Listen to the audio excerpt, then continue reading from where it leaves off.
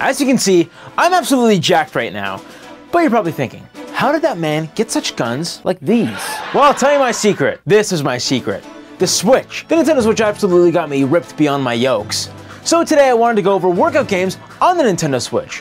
Which ones work and which ones don't work out. Of course, when you think about Nintendo Switch and exercise, you think of Ring Fit Adventure. So let's strap it up. This game uses the Ring-Con, a Nintendo Switch accessory made for just this game. It's a stiff and flexible ring you squeeze to feel it in your biceps, chest, shoulders, and glutes, also known as resistance training.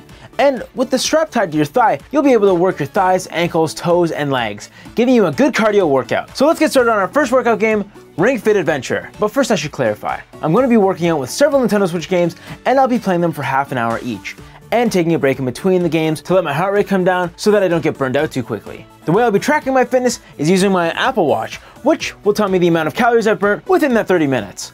I can then determine how useful this game is and which Nintendo Switch game you should play to burn the most calories the fastest. And all workout games will be tracked with the Apple Watch's gaming fitness option. Alright, back to the games. When I was trying to lose weight back in January of this year, I would play VR boxing, other VR sports games, and sometimes I wouldn't even use video games to work out, and I'd do it the old fashioned way, just by going to the gym. But what really intrigued me was Ring Fit Adventure, the adventure RPG that allowed you to exercise and, of course, lose weight. So I picked it up. Though I really wanted to get invested in this game and the story behind it, I found it difficult to stay motivated. But I blame myself entirely for that, because I feel like this game does a phenomenal job at keeping your attention and enticing you to come back. This game allows you to level up, customize your character, and of course, get stronger physically and virtually. I just stopped playing because back then, my heart was with VR boxing and Apple Fitness. So opening up the game again we can see I'm already on day 4, which means I've turned it on a whopping 4 times, and apparently I'm actually on the second world boss. And just in the first few minutes, I remember the pain of this fitness game. Most of the time, you'll be fighting bosses like this, and doing intense workouts like squats, overhead pushes, knee to chest exercises, you name it. And it's hard work. In hindsight, I shouldn't have told the game I wanted it to be a little harder, but I did. And that's okay, because in the first 15 minutes or so, I actually started feeling good. Tired, but good. And I can already tell, this is the most unique fitness game the Switch has to offer. Or is it? So let's look at the results after just half an hour of playing this game. I burnt 161 active calories, 213 total calories, and my average heart rate was 94. Next we have Fitness Boxing 1 and 2, the fitness game you've seen but never bought, because boxing with these 50 gram controllers should get me jacked beyond my imagination right? Well, I guess we'll find out. Thankfully, there's demos for each of these games, so you don't need to flush money down the toilet just to try these out. I'm just going to be playing Fitness Boxing 2 because, well, why would you play the first version of the game when there's a sequel? Sequels are always better. Let's play Fitness Boxing. Oh look, this game is published by Nintendo. I actually didn't know that. It starts with you going through a tutorial on how to extend your arms in a fighting manner, or, um, you know, how to throw hands, the proper position, and everything else you need to know that may be important. But let's just get going on the game. The first run wasn't very difficult. As I played a few more rounds and got a higher level, things started to get a little more intense. After increasing the difficulty, I was actually feeling a sweat building. This game can also help you create fitness plans and help motivate you to come back as well. You can even change your trainer and give them new cosmetics. But yeah, definitely after a while, I, I was I was actually sweating quite hard. I am uh I'm actually sweating a bit. I'm actually sweating. The active calories I burnt in this game were 215 active calories, 267 total calories, and the average heart rate was 101, which is higher than Ring Fit Adventure, but we'll come back to those results. Next we have Zumba Burn It Up. Well, okay, I guess. This game feels like the $2 fitness game that everyone had on the Wii because they were too cheap for the good stuff. I've seen this game around all over the place, but I didn't hate myself enough to try it out. So let's try it. Oh no. Please, no. I hate dancing. Even as a kid, I would skip out on all the school dances because I was way too cool for that stuff. Instead, I would show my friends how many golden flagpoles I got in Super Mario 3D Land on my 3DS. Because like I said, I'm cool. But fine, let's try this game out. I guess I'm gonna be dancing for half an hour. It's just a good thing my room has a door. Installing locks is my next mission. Let's set it up and set it to the highest intensity. Oh no. Oh gosh, please. Don't make me do this. I could physically only stand two minutes of this. I burnt 9 calories and 12 calories total. My average heartbeat was 79 BPM. I'm sorry to all you Zumba fans, but I just could not. Yeah, this game is horrible. Listen, I just can't move my body in that way. I think I'd rather get caught watching anime. this game is literally just some green screen people dancing, and I literally couldn't do it. And then my worst fear happened. This is why I need locks. But seriously, what's the gameplay part in this? I'm essentially just watching a workout video. And who's the guy that keeps popping up in the corner? It's definitely not me. Well, now that Zumba's done, what's next? So here we have Just Dance, the game that was released annually on the OG Wii all the way until 2020, because that's how popular this game is, made by our friends over at Ubisoft. I remember my family members playing this on the Wii, I could never build the courage to play it myself, but I do remember that there were some jams and a Super Mario dance. So today I'm going to be once again keeping my door closed while recording myself like an idiot and questioning why I decided to do this. Anyways, let's tap start on the good old calorie counter and start playing for 30 minutes. You can definitely tell, this is the highest quality dance game there is just by opening the game. And because we're on the Switch, we can use the Joy-Con gyro features to play and track our motion. I will say, you have to give props to Ubisoft for making this game look smooth and having high resolution graphics, at least in the menus. Because when you're in the game, you can tell the video file or characters dancing is heavily compressed so they could fit it on a cartridge and have it running smoothly on the Switch.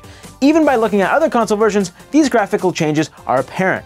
But let's do what the game says and just dance. Okay, I don't want to do what I did with Zumba, but I just can't bring myself to put all this energy into actually dancing because I just can't do it nor do I want to try. So instead I'm going to be swinging the Joy-Cons in the right direction I think it wants me to swing it in. I'm pretty much tricking the game into thinking I'm dancing when I'm not. But even just by swinging the remote, I do feel a bit of a workout. But I just want to make it clear, I understand the appeal of this game. I actually think if I was interested in dancing at all, it would be one of my favorite games by far. It's a fun game that you level up in and compete with yourself and others to get the highest score, and it's satisfying to finally reach a better score than the last time, and noticeably seeing your improvement. It's also really fun being able to pull off new moves that you weren't able to do for the longest time. And not only that, but you have some admittedly catchy songs all at the same time. And it's for these reasons that I love the game Rock Band. I'm a musician and I write music, and to have that on a video game is satisfying even if it's only with plastic instruments. But all that to say, if you like dancing at all and you really want a fitness game, I would recommend Just Dance to you. But I would also recommend it to you if you enjoy having ads thrown in your face, because in this game, you can pay money to get a variety of songs and dances from previous Just Dance titles.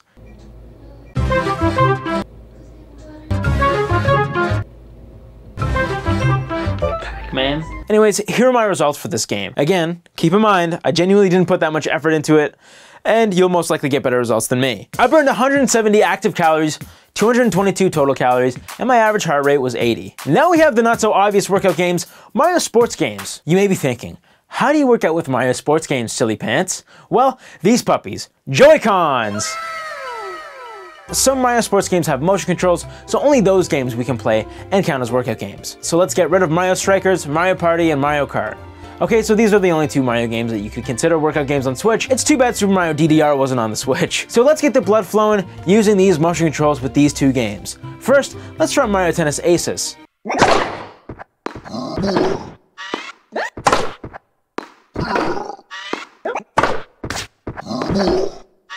Oh, Okay, so just like Zumba, I don't see much of a point in this Super Mario Sports game for fitness, because there's not that much working out, and you're not really trying that hard. So instead, I'll just move on to the next game, which should get us similar results, and that's Nintendo Switch Sports. At first glance, you might not consider this a workout game, but hey, me neither. But every sport inside revolves around motion controls. I remember when the game first came out, I would get a little sweaty after playing especially when playing for a few hours. And of course it depends on which sports you're playing. Obviously if you play an hour of bowling, it most likely won't burn that many calories at all. So we are going to dodge tennis, skip bowling, and pass on volleyball because it's just not as active as the other sports. And instead I'll be playing badminton, chambara, and soccer. And when I play soccer, I'll be using the Joy-Cons and the leg strap simultaneously to get the most physical activity out of this as I can. So for this, I'll just play 10 minutes of each sport. And I'm back in the game, and it feels like April again, because that's when the game came out. And I haven't touched it in a while. So it's pretty cool to see some of the new features. We'll start off our journey with badminton. This game has gotten a little more frustrating, and I may need to build my virtual badminton chops a bit more. Unless my secret ultimate plan works, of course. Badminton hacks. Welcome back my sweet plastic accessories, which I paid too much for. You're finally useless once again. Does plastic accessories help? Uh, no. But I do think with a tad of added weight to the Joy-Con, we might be burning just a little more calories than if we weren't using them. Next is our friend Chambara. We already have advantage in this one because again, we have plastic accessories. The Hecking Sword, and wow, it works! What if we use two? Some dual wielding action. Well, I'd use two swords, but the problem is I don't have two, so I'm gonna be using the golf club instead. This will have to do. The power of the golf club is perhaps leagues ahead of any Chambara technique. Now the one that will most likely be the most worked, soccer. What's even better is that you don't need to use two Joy-Cons. You can use the leg strap to kick and the Joy-Cons to artificially have the sensation of jogging. Now in total, my active calories were 142, my total calories that I burnt was 193, and my average heart rate was 85. And now for the final game, we have arms. The game that your funny uncle might see and say, that's great, but what about feet? and then you tell him not to get up in arms about it. I can only assume this game will give us similar results to fitness boxing, because all you're really doing is punching the air. This game is just arms at the end of the day. And to be honest, it's not my favorite game. The concept when it came out was really neat, and it was fun back then, but now it's just kind of boring. And the most working out you do is obviously with the motion controls, but obviously the gameplay doesn't thrive off of them. It's far more fun playing this with button controls. The motion controls are decent, but are definitely not as responsive as you would want them to be in a fighting game such as this. So a majority of my working out in this game was just me getting frustrated when my inputs wouldn't register, and the workout you get from playing this game doesn't make you sweat or work hard at all. You'd be better off playing the game with button controls and running and jumping on the spot. But now that I'm done, let's check the results. As you can see, the most calories burned was actually Fitness Boxing 2, which I can understand. All of the games I played today, you're almost continuously active for that 30 minutes.